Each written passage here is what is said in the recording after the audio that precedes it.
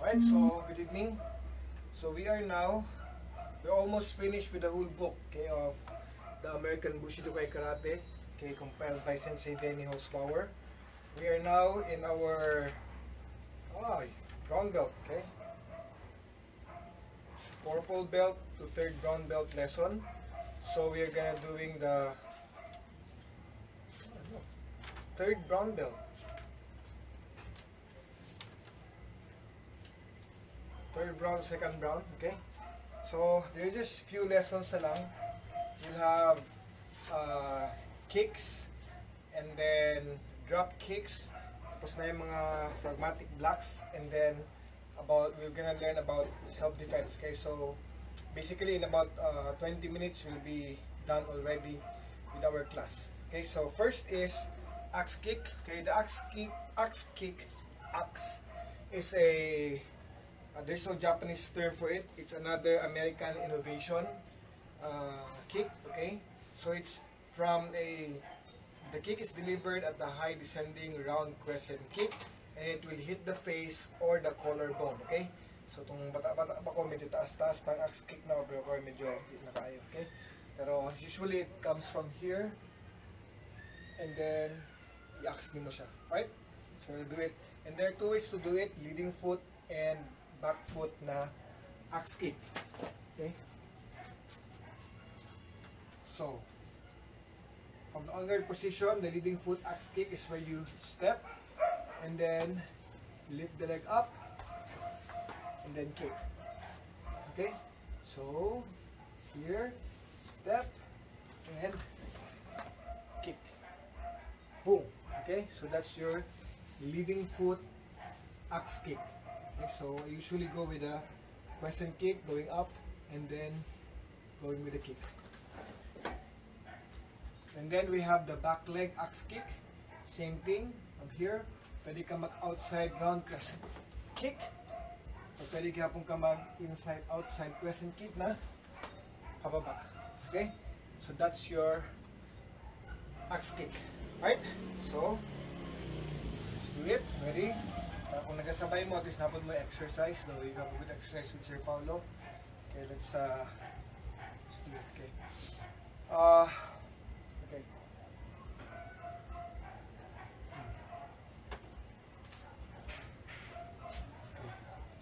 Ready? Okay.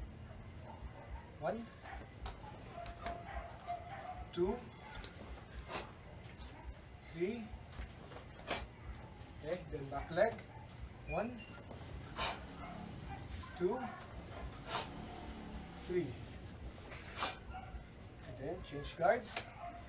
Okay, one. Leading foot. Two. Three. And we have the back leg axe kick. One. Two. Three. Okay, so that's the kick, and then we have uh, we have drop kicks. Drop kicks are usually used uh, in a self-defense. Dili kayo magamit sa sparring. Okay, so we have uh, three ways of doing it. That's the side drop kick, the roundhouse drop kick, and then the front drop kick. Okay, so the first is the side drop kick. It's where you from your on guard position, you're gonna drop down on your knee, touch the floor, okay, make sure na paspa siya kasi so you have not beat and then you do side kick on his groin. Okay, so kung naka side view ko, I go down and then kick. Okay, that's your uh, drop kick and then your second drop kick is the drop round roundhouse kick. So same thing from your under position, okay? So you go down, throw ka na siya, pa roundhouse kick. You, it's like you slide. Pag kick niya roundhouse, you go down, then you slide roundhouse kick to the groin. Okay, so muna ang difference niya, okay? Because this time, you're gonna slide entering towards him, touch the floor, and then you kick roundhouse kick to the groin. Okay? And then the last one is your front drop kick. Ang front is where he pushes you and you go down to the to the ground and then you from here you kick him going upwards. Okay? So muna inyo mga uh, drop kicks. Okay? So from here you go down and then kick. Okay? Alright. So, uh, application, Sir Paulo. First is the drop side kick. So, kabanda para makita. So, pag nagsipay sa kuog, leading foot, roundhouse kick, diba? I go down. Okay, kasi you hit my head. When I go down, he kicks. Ah! Kick him in the groin. Okay, that's the application. And then the num the number two is when he uh, again when he kicks Rano's kick by his uh, back leg. So I go down, see? Okay, so I keep my guards up. But this time when I go down, I go kick him. Rano's kick sa iyo have groin. Okay? So that's the difference. So para mas makita nyo, I'll go on this side. Okay? So first is the drop side kick. Kicks me with the leading foot runners kick to the head. And ha, kick side kick. And now the uh, drop runners kicks. Kick, he kicks me with the runners kick to the head with the back leg. I go down. And I go, kick runners kick his groin. Okay. And then the third one is your front. So here, usually magamit pag he pushes you forward na natumba ka, bang! And then I go kick him kung sa bakante. Pwede sa face, pwede sa groin, pwede sa body. Okay? I'll do it from this side. He pushes me, bang! I go down. And I go push front. Okay? So that is your drop kick. Right? Okay. So for the sake of exercise now, so you can also move. We will do it. Uh, so, so, kaya mag-count na lang ha, para makapahinga ka. Alright, so I'll do 3 counts right and 3 counts left. 3 counts and then uh, alright. First is the drop side kick. I'll just gonna do two front and then two sideways so you can see the form. Drop side kick. Drop side kick. Go one. Two. Size you. One. Two. Okay. Hinge guard. One. Two. Side view. One. Two.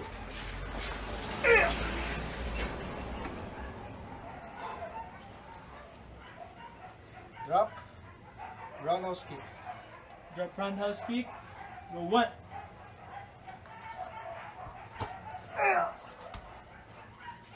Two.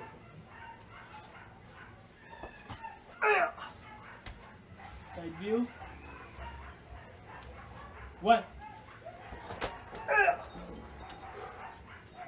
Two. Change guard. Reverse. One. Two. Side view. Go one. Two.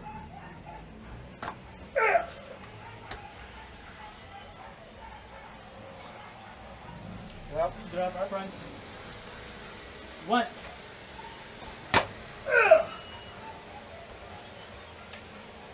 Two.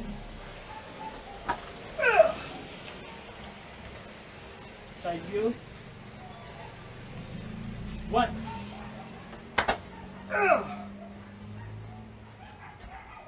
Two.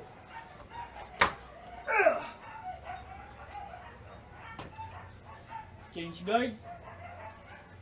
One. Two. Side view. One. Two.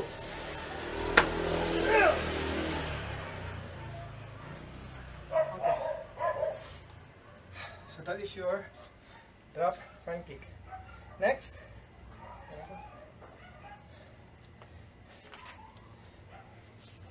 you have the pragmatic pragmatic blocks. Okay, so that's usually a question. What is a pragmatic block?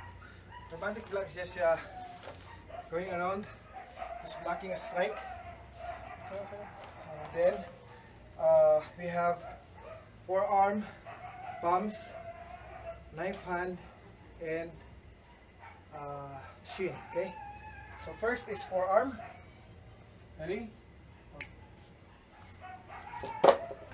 So anything, you just block with the forearm. Ito na yung uh, during the examination. Just he's gonna punch lang. You go like this one. This is your this is my forearm block. Okay? So during the test, punch lang yung kalaban, then you just use the forearm as a way of blocking. Okay, go. Okay, so uh, it's uh, conditioning actually sa inyong forearm. Okay, and the next is a pragmatic block using your palm. So ang difference karon is when I strike, I use my I use my palm. See, I am using my palm. Even kung mag-kick siya, same gihapon, I'm using my my palm in my blocking, okay? Punch. Okay? So anything, basta you are blocking using the palm. It means like you're blocking and you're striking. Then, the knife hand, same. So using the knife hand. Okay, so when you go with swinging punch, see, and go. See, I'm using my knife hand block. Okay, so, oh, so I could go like that. Okay, same gapon when you kick, front kick, I'm going. See, I'm striking with my knife hand strike. Punch. See? Okay? Good, di ba? So I'm striking with my weapons. Okay? Forearm, palm, and knife hand. Next is your uh, uh, shin. Okay, so now it's like the Muay Thai block or the uh, wushu block that we have. So when nagsipa siya, leg kick, okay, it's shin to shin kick, bang, or he kicks the body, bang, same thing, okay, bang, bang. Okay, so during the test, uh, mo nang bato, magsipa lang siya,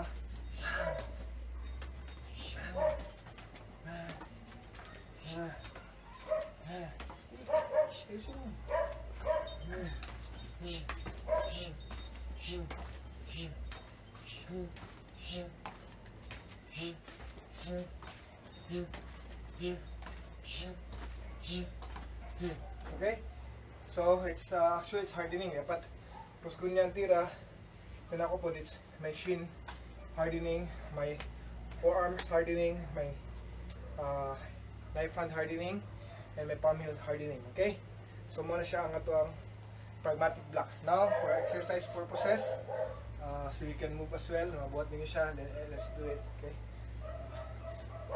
So, during the pragmatic block, I'll do the first is the forearm. So we're just gonna do uh, shadow fight. It's up to one minute, so but we're just gonna do 10 seconds right now. So every block basta forearm akong nandito. Okay, go. Start moving now. If you are working out with us.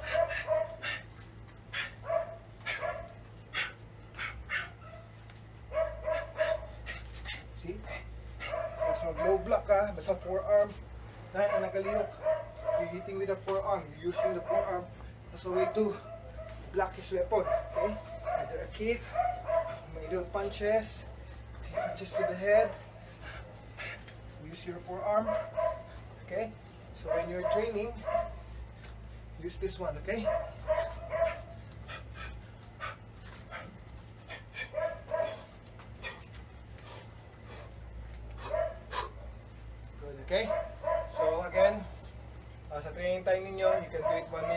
Minute or 2 minutes of that. Then, after that is your uh, palm heel. So uh, you just imagine the tira, and I just go with the palm heel block. With the blue block, and using my palm heel, it's like traditional. I'm using all my palm heel when I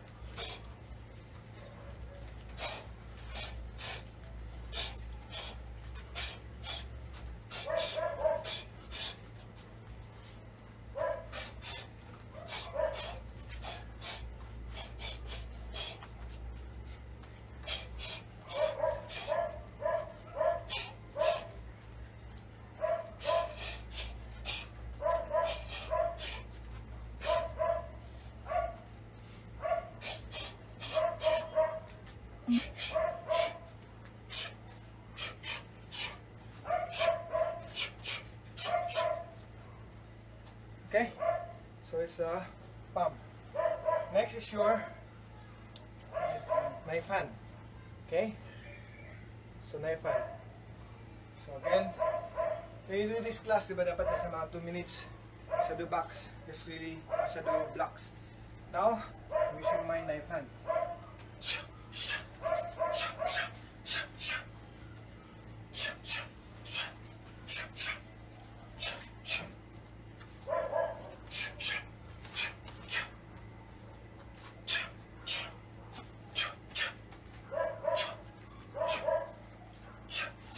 it's a block, but it's a it's a strike. He kicks me with front kick. Nga-chop na ako, di ba? Pero si Chuck, nga-chop na ako, nagasumpag siya. Okay? Actually, ginagamit siya kung sa tula gapon, di ba? In your continuous fight. Okay? Right? So, di na mag-ghost ang conditioning. Again, if my hands, my forearm is harder than his, then I'm striking him while I'm blocking. The last one is your shin or the knee blocks. Okay?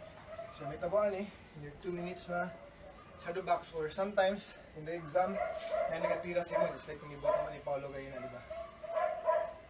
Right. Here. Block from the outside, go block from the inside. Okay. Good. Block from the center. When he punches me, I could use my shin to block my body. See that? Oh. Okay. He goes runner's kick. He goes leg kick. I'm just gonna check him. Bam. Bam. Okay.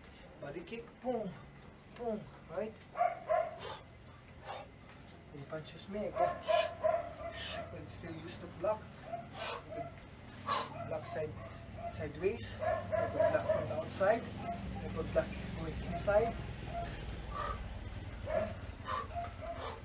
So I'm using my my shin to make the, the block. Right? And then you can do your defense. But right now, it's just all the blocking. Okay? So that's your pragmatic blocks. Okay? Breathe, inhale. Exhale. Inhale. Exhale. Okay. Now, uh,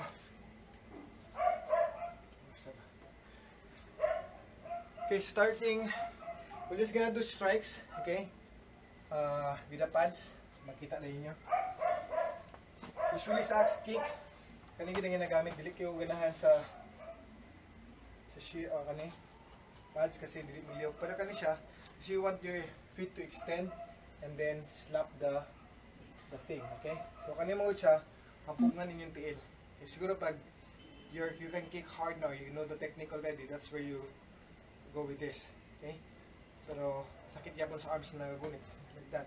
So kani siya, can just, okay lang. Okay? But again, you can do, you can use anything. I would highly suggest this one. Okay. Let's see kung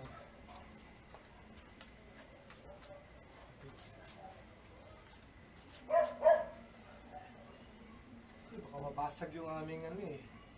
Yung bubong namin. Sipa ako, mga pabalitan pa ako. Okay? So,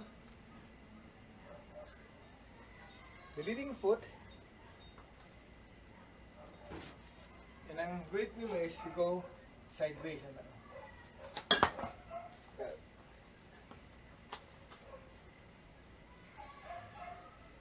Okay, tapos slightly bend yung elbow kasi di ka makakasal na anak. Slightly bend, so you are strong. Okay, and then usually you put it uh, above the head or face level sa imo ang gina lateral pads. Where when you kick, you go high.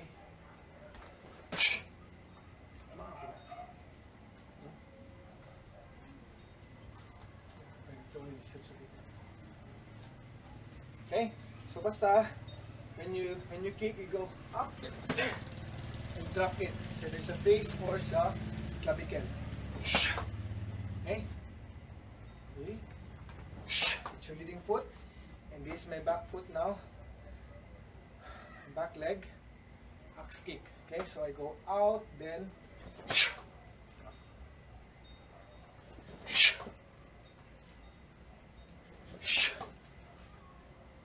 Okay. So that's how to hold it without you just know how to do it. Then for the drop kicks, dapat to yung pads. So you're just gonna hold that, then he's gonna go forward. One.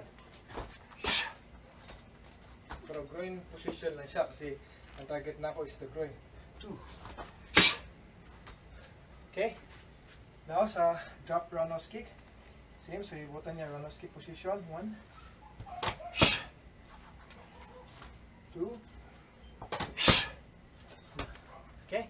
Then sa uh, front, push me. Boom. Go down. Okay. So pwede daghanan na siya pag front. Right? So again, you just been given the techniques pero again, you develop it to make it applicable in a street fight. Why we learn all these things? So we can apply it. We practice it, at some point all these things are effective in a street fight. Okay? So you practice. Okay. Now the last part of your the lesson for the third round to second round is a self-defense. Okay? Uh, self-defense we have we have here seven there's a lot of things when you research okay for in ABK in our manual we have seven things for a multiple attacker self-defense kasi there is a part of our self-defense na uh, four opponents will attack you then the other one has a weapon usually in a street fight somebody will have a weapon especially in a in a gang fight or multiple attackers usually some somebody has a, has a weapon so in our exam there will be four attackers and then one has a weapon. So these are the different uh, the plural man defense from our manual. Okay, uh, plural man defense. A critical part of the NICU test is a simulated attack by four person, which is one as a knife. Okay, so here are seven rules of plural attack which must be memorized by and, and applied. Okay. Number one, take the psychological advantage. Number two, limit area of opponent's attack. Number three, always maintain eye contact with a weapon. Number four, always use opponents against each other. Five, use only simple, fast, and powerful technique. Six, attack only two extremely vital areas of the opponent's body. Seven, keep land ready defense and offense on all sides. Okay? So, num- so I'll explain it. Number one, take a psychological advantage. It means when you show them that uh, you are afraid or you don't know what to do, it will give them more uh, courage or bravery. Pero if you show them that you're not afraid and that you are you are ready, like you are composed. So it's like, it's like when you, so they will, they know that you don't know what to do. But when you go like like this and you look them to the eye and then look at them that you're ready, so that is taking the psychological advantage. It means, or sometimes you just tell them like, okay, you don't you don't do that. You talk to them, okay? Uh, like you you know what you're doing. Then uh, number two is limit the area of opponent's attack. It means uh, I have a wall here. Diba? So that's limiting the opponent's area of attack when you go to the wall, diba?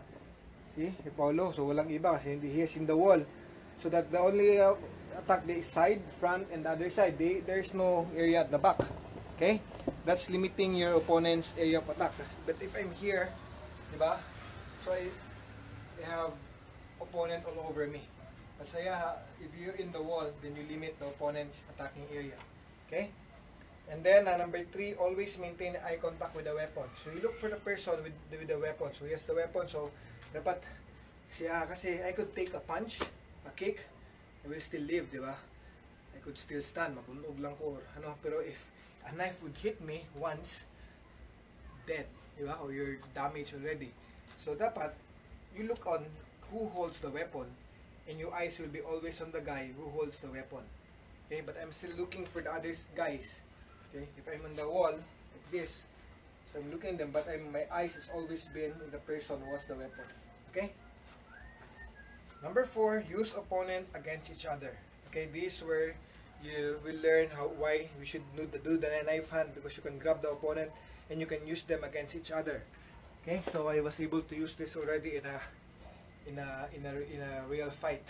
No, so ibig sabihin if I could take hold of, of this guy, example, I could take a hold of him, diba?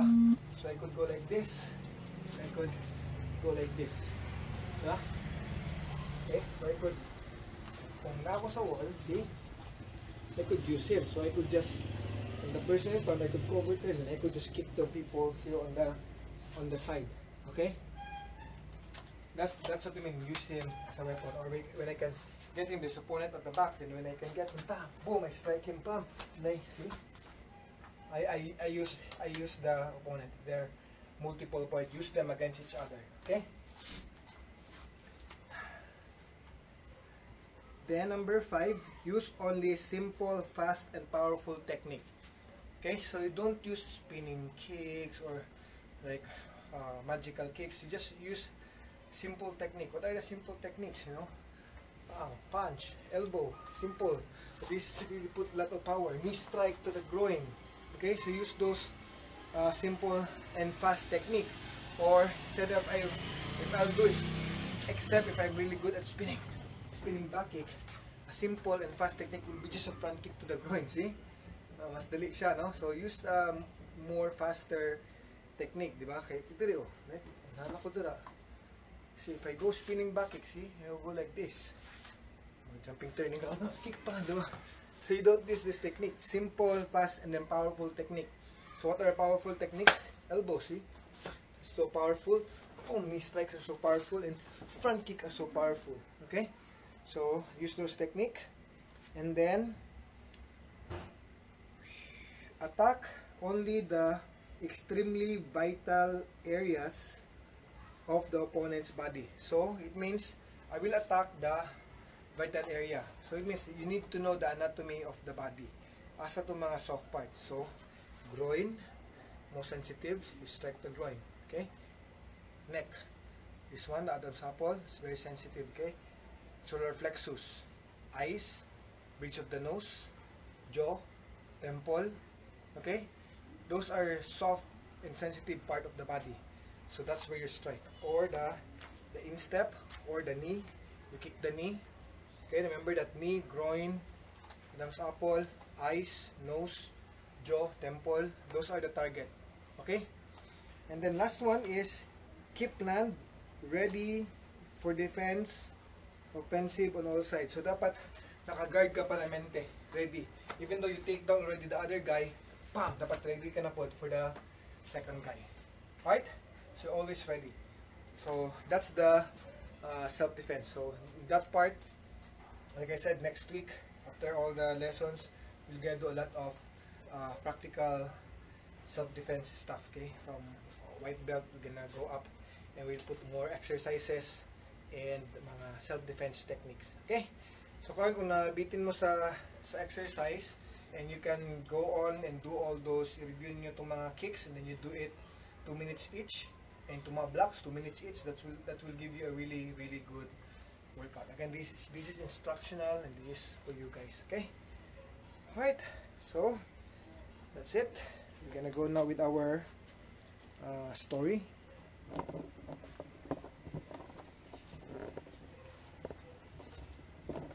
so as, I said kanina sa tong announcement that uh, our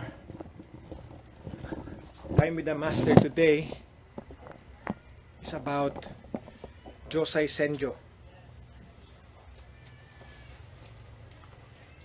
Okay.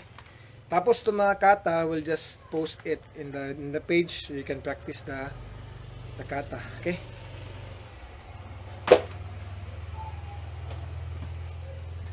Water break. Breathe.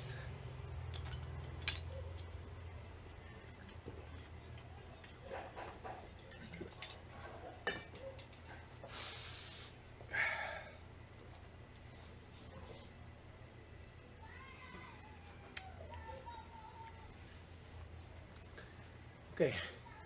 Now we're gonna talk about discipleship. We're gonna talk about the Kuden of the American Bushidokai Karate. Now our system, the King Sword, is uh, the system that we're using in our karate is the American Bushidokai Karate. We are uh, part of the American Bushidokai Karate.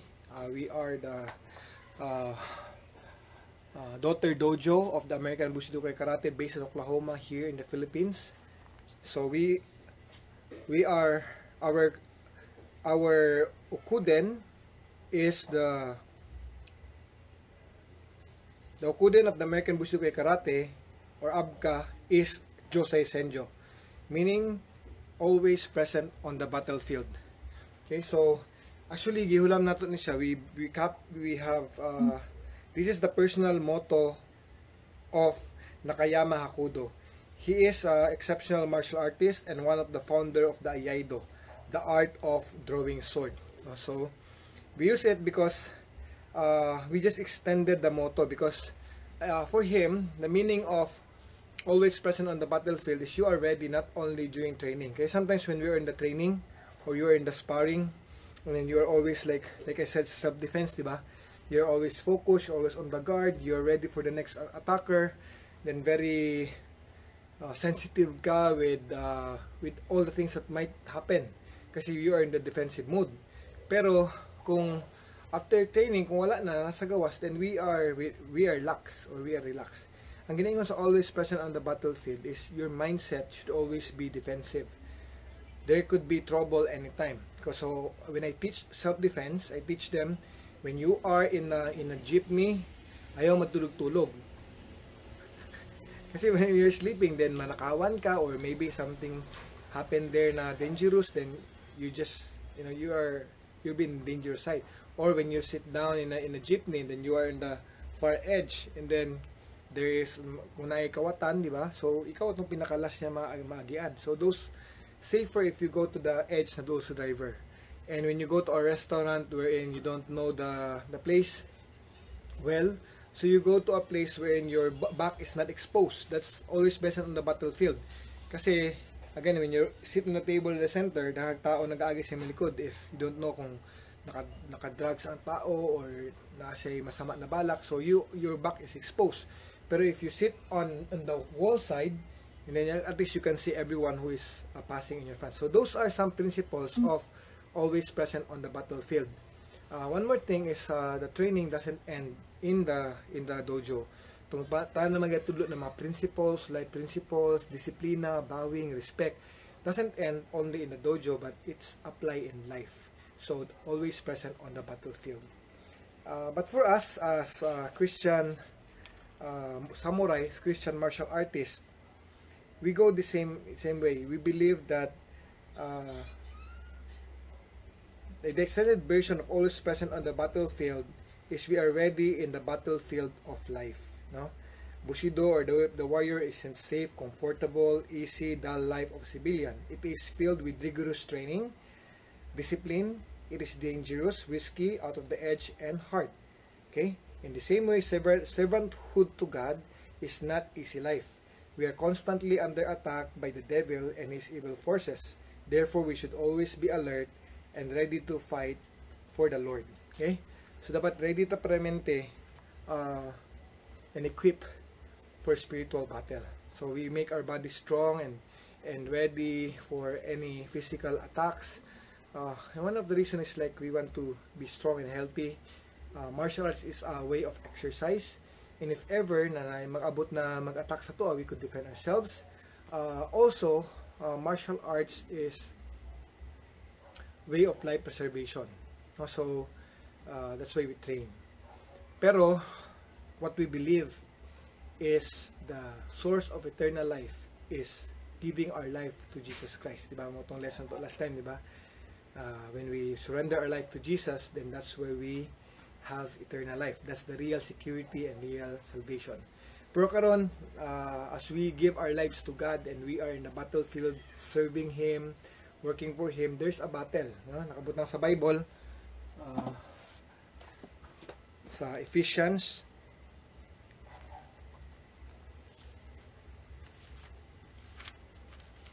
chapter 6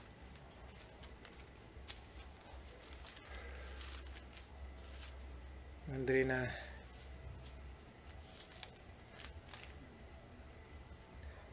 Chapter 6 verse 10 Finally be strengthened by the Lord and his vast strength. Put on the full armor of God so you can stand against the, the tactics of the devil. For our battle is not against flesh and blood but against rulers against the authorities against the world powers of this darkness against the spiritual forces of evil in in the heavens. This is why you should take up the full armor of God so do so that you may be able to resist in the evil day. And having prepared everything to take your stand stand therefore with the belt around with a belt of truth around your waist righteousness like an armor in your chest and your feet sandaled with the readiness to share the gospel of peace in every situation take the shield of faith and with it you will be able to extinguish the flaming arrows of the evil one. Take the helmet of salvation and the sword of the spirit which is the word of god. With every prayer and request pray at all times in the spirit and stay alert in this with all per- perseverance and intercession for all the saints. So nakabutan dire sa scripture sa bible that we are in a war against the evil forces of this world so spiritual battle is the greatest battle not physical battle again physical ang tudiri ni Kuto pero spiritual battle could uh, affect you spiritually for eternity. Again, our lives here on earth is temporary. Our lives to come is more important. Asa tapadulong after this life. So, so you have to protect your heart. Nakabutan dire that how we could do it is we, when we trust, when we put put our faith and, and trust in Jesus Christ. Saya kita magsalig. That's why we accept Him as our personal Lord and Savior.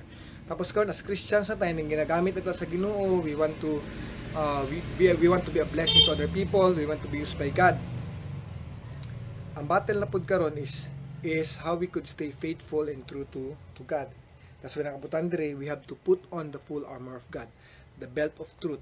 The belt of truth is the word of God. Dapat ato ang kina, sa una magud mga Roman soldiers, all the all the important things in their life nasa ilang belt. Wala man sila bulsa sa una. They don't have any pockets. So they use their belt. Dito nakabut nakahang ang mga pagkaon, ang tubig, ang mga coins, every every important thing sa ilang life nasa belt. Okay? Kasi wala sila yung pocket. Wala yung Levi sa una. so they use the belt. So the belt of truth. Tanan importante na part sa imong life, it must be according to God's word. The God's word is the belt of truth. Then, uh, righteousness like armor in your chest. So imong imong heart protektahan imong peramente, di ba? Nadra tapos ang armor kasi nadra ang heart. Ang heart is imong motives. Yung, sa Bible, blessed are the pure in heart for they will see God. So importante kay na pure imong heart peramente. protektahe yun trap when you watch in the mga karon sa internet and mag-pop up lang kalit tong mga impure impure things di ba? Mga ah, mga sexy things ana-ana di ba? So all the temptations. And then pag na-impure na imong mind and then it will start to to eat up your focus on God di ba? So dapat protektahan gud nato atong heart. Always have a pure heart. Uh, even the Bible said David led his people with a skillful hand and a pure heart. So pure heart is very important. Again, in Jesus Christ, blessed are the pure in heart, for they will see God. Okay? And then, uh, fit with the sandal with the readiness to share the gospel of peace. So, importante na itong tiil, we are ready to go wherever God is calling us. Ibig sabihin, obedient ta with God, whatever He wants us to do. We are ready to obey and do His will. And always, wherever ta nagaadto, we share the gospel of peace. We share about Jesus Christ. We share His love. Then, uh, take, every- take the shield of faith. So, ang shield na to, itong pangsagang karon sa mga lies sa enemy, yung mga attack, is the is our faith. Dapat strong atong faith. Na even even daghang mga temptations na mag-doubt ka na na nalabba ba ko ni God or napa ba good future those are doubts faith is the opposite of doubt ang faith is yes I believe that I have good future. I believe that God has a plan for me. I believe that that uh, uh, life will be better because God is with me. And I believe that God is preparing me for heaven. That is faith. You keep on believing that what the Bible said is true. And God you are God's son and daughter and he has a great plan in your life. So that is what you mean by the shield of faith. Faith is believing things that you don't see okay faith is what makes us uh, live for God okay and through our faith God can do miracles in our lives kung wala tayo faith then God cannot make miracle na isa, isa ka lugar gadtuan si Jesus Christ na people doesn't have faith and then wala siya naka-perform kay miracle. Di ba makita mo si Jesus Christ when when people approach him and then even tong two blind men, di ba? Uh, siya, Jesus Christ. And uh, si Jesus, what do, do what do I want me to do for you? And sila, we want to see. And uh, si Jesus Christ, do you believe that I can make you see? And I said, yes, we believe. So, faith. Kaya kung wala tayo faith, God will not move in our lives. If we doubt, then God will not move in our lives. Muna yung sa James chapter 1 verse 5 na but when you ask you must not doubt because if you doubt you you don't expect that you will accept anything from God. Okay? So dili gusto si God na na doubtful ta. So dapat we increase our faith. How? That's gonna change your prayer life. Pray that your faith will increase. Pray that God will increase your faith and then purify your heart. So that's my personal prayer. Lord, increase my faith, purify my heart, purify my thoughts. Every day I pray for that. Then, uh, helmet of salvation.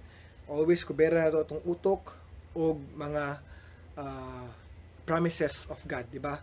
Ang promises sa tuwa agad is we will be with Him in heaven. That is our salvation. So dapat protektahan na to itong head anad na bisang bisang unsa ang ingon lie sa tuwa mga wrong teachings, we must always focus on the salvation that God has for us and His promises for us. Okay? So, protect your mind. Protect your mind always. And then, the sword of the Spirit, and lagi ka na pangalan na King Sword. Okay, we believe that the Word of God is the greatest weapon. Okay? There's power in the name of Jesus, and there's power in His words. This is the sword of the Spirit, which is the Word of God. So we could, uh, by the word of God, we, we proclaim this like sickness. Masutit na in Jesus' name, sickness get out. Because promise ni God that He will heal us.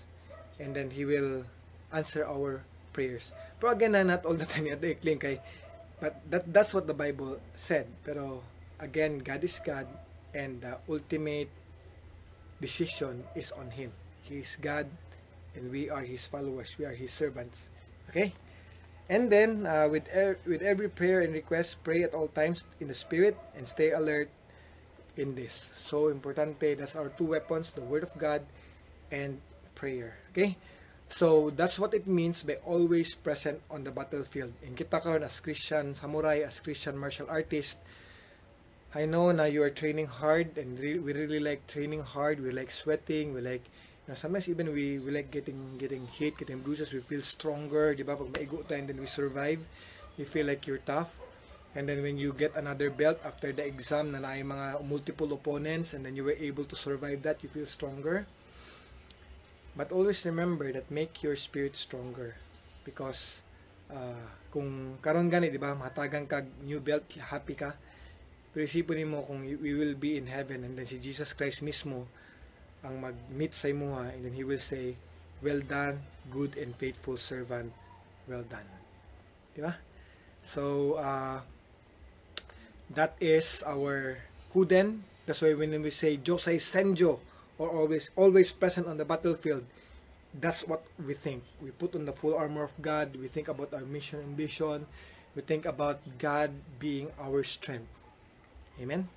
So that's where what that's what we mean when we shout jose Senjo, always present on the battlefield, filled with the Holy Spirit and covered with the full armor of God. Amen. So I hope guys you guys are learning. By the way, atong brown belt, uh, Third brown belt uh, memory verse is James 1 2 to 5.